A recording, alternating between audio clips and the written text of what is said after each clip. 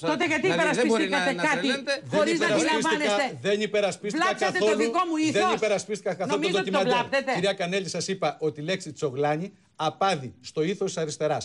Και δεν το απέδωσα στο Κομμουνιστικό Συμφωνώ. Κόμμα. Το απέδωσα σε εσάς προσωπικά Συμφωνώ. και σε αυτό επιμένω. Απάδει στο ήθος της αριστεράς.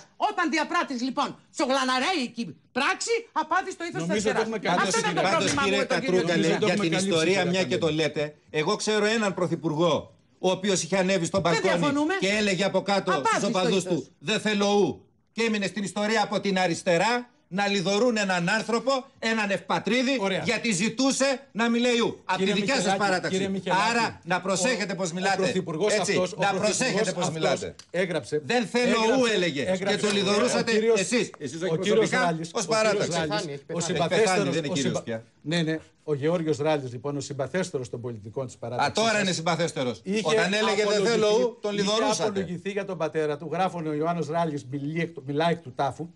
Δικαιολογώντας λοιπόν έναν άνθρωπο που ήταν συνεργάτης των Γερμανών. πατέρας. Τι λέτε τώρα; Ποια πατέρας. Τι λέτε τώρα; Ποια πατέρας. Σας λέω Εγώ τώρα πώς σας το λέω. δεν θέλω Πάλι ου. πίσω από Σας την λέω, Το ιστορία. δεν θέλω ου. Μπράβο. Η ιστορία Μπράβο. της Κύριε αριστεράς. Κατρούγκαλε, Σήμερα τι είναι αυτό πάλι που πάνω λέτε από τώρα. την Η ιστορία ιστορία; της Μπράβο. αριστεράς. Θέλετε να σας Κλασική θυμίσω που όλες τις λέτε. στιγμές αριστεράς; Σήμερα ιστορία της μιλάμε. Όλες τα αριστεράς. Σήμερα Η έχουμε ιστορία εκλογές. της αριστεράς, Σήμερα η κάνει ιστορία της ψηφοδέλτιο στην δεξιάς Ευρώπη ο είναι Τσίπρας. γνωστή στον τόπο αυτή. Σήμερα παίζει το Δεν ντοκιμαντέρ. ταυτίζεται η Ελάτε αριστερά τώρα, με τη κύριε. Άσε δεξιά. τώρα το ράλι Δεν και βέβαια. ταυτίζεται η αριστερά με τη Και δεξιά. βέβαια. Σήμερα Και το βέβαια ένα δεν σώμα. Παράδοση, ταυτίζεται. άλλη παράδοση. Στην αριστερά και την Άλλη άλλη Άλλο Ευρώπη. έχει αριστερά, άλλο Έλα δεξιά. τώρα, Λοιπόν, έλεος δηλαδή. Καταρχήν, ε, Έχουμε από εκεί το, ο αριστερός τρόπος και ο θόρυβος- αντιμνημονιακός τρόπος να μαζεύεις τα πω κάτι. σκουπίδια